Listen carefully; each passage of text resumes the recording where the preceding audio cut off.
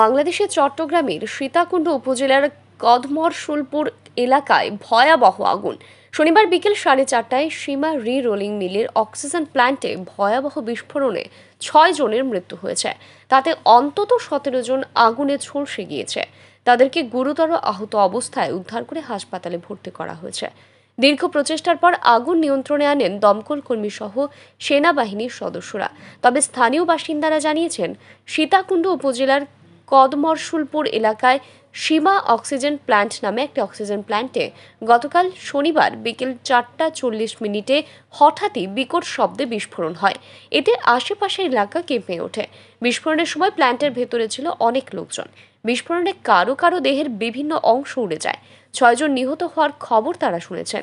এই oxygen plant থেকে এক কিলোমিটার দূরে বিএম কন্টেনার ডিপোতে গত বছরের চার জুন রাতে বিস্ফোরণে অন্তত পঞ্চাশ জন নিহত ও দুই শতাধিক মানুষ আহত হয়েছিলেন।